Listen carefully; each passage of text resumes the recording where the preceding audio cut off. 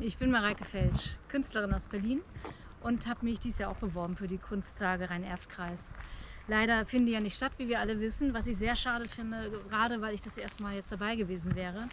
Aber so habe ich zumindest die Möglichkeit, mit Ihnen jetzt hier in Sanssouci spazieren zu gehen, was ja auch nicht schlecht ist.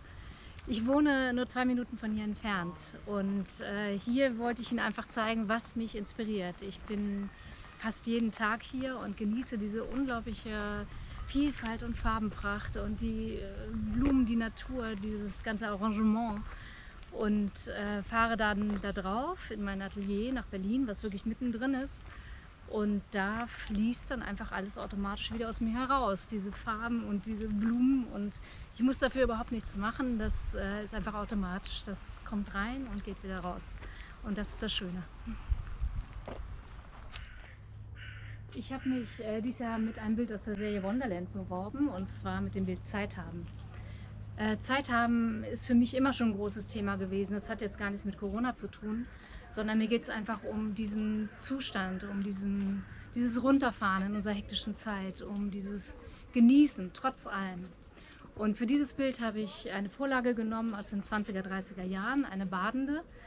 Und die habe ich eingebettet in genau denselben lebensfrohen, blumigen, bunten Rahmen, in dem ich auch meine anderen Figuren in den anderen Serien einbette. Das hat immer was Ironisches auch, äh, was Surrealistisches, was Poppiges. Und das macht einfach Spaß. Ich nenne meine Technik Collagenmalerei. Äh, das habe ich mir sozusagen selbst ausgedacht oder selbst entwickelt.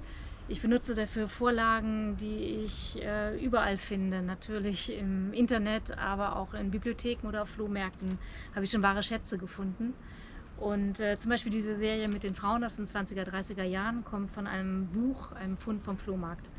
Und äh, die setze ich dann äh, auf die Leinwand mittels Transfertechnik, rühre Pigmente an äh, oder nehme auch Acrylfarben und schaffe so die ganze Komposition. Aber ich würde sagen, das ist immer so schwer, über Bilder zu reden, die man nicht sieht. Fahren wir einfach ins Atelier und gucken uns dort alles an.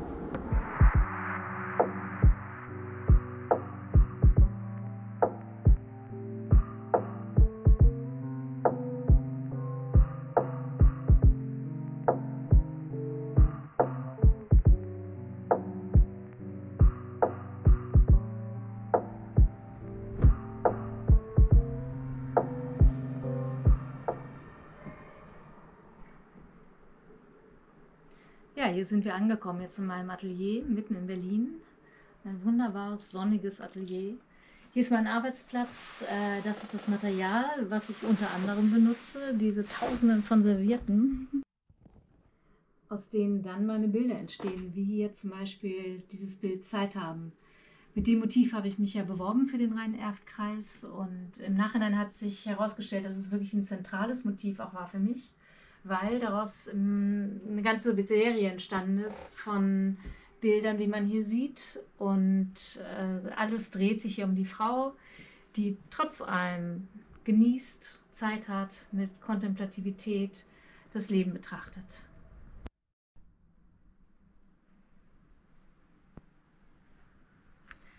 Als ich vor einiger Zeit auf der Artpool in Köln ausgestellt habe, hat der Kurator Job Hellens bei seinem Kunstrundgang eine ganz tolle Rede über meine Bilder, meine Kunst gehalten. Und er kann das eigentlich wie kein anderer ausdrücken, was die Intention ist, aber vor allen Dingen, was die Wirkung ist, die meine Bilder erzielen. Und deswegen würde ich ihn sehr gerne jetzt einmal kurz selbst zu Wort kommen lassen. Es ist eine Aufgabe der Kunst, Mut zu machen. Es ist eine Aufgabe der Kunst, uns auch Räume zu geben, in denen wir einfach mal genießen können. Und das ist etwas, was ich tue, seit ich die Arbeiten von Mareike Fellig sehe. Es geht nicht nur um innere Auseinandersetzung. Es geht auch um Trost. Es geht auch darum, dass Kunst uns tatsächlich die kleinen Auszeiten liefern kann, die der Alltag uns nicht mehr liefert. Die uns innere Rückzugsorte zeigt, an denen wir heilen können. Kunst muss nicht nur im Kopf wehtun, sie darf auch ganz einfach mal im Herzen Freude machen. Mareike, gefällt es dir? Ja, ich glaube, dem ist wirklich nichts hinzuzufügen. Mir bleibt jetzt nur noch übrig, mich zu bedanken, natürlich bei Jo Pellens für diese schöne Rede, aber in erster Linie natürlich beim Rhein-Erft-Kreis und bei meinem Sohn Bela für das schöne Video.